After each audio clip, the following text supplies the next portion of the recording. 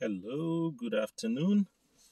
Yeah, uh, today's my last day at uh, uh, 11 Bridges Campground. I just uh, checked out and uh, it's uh, day five, Sunday, July the 4th, and it's now 12 in the afternoon, 12.06 in the afternoon here, and I just arrived at Horseshoe Canyon just arrived at Horseshoe Canyon, so I'm gonna have a look. I've been here before. I remember I was here quickly uh, two years ago with my son, and uh, we checked it out quickly. We didn't even have time.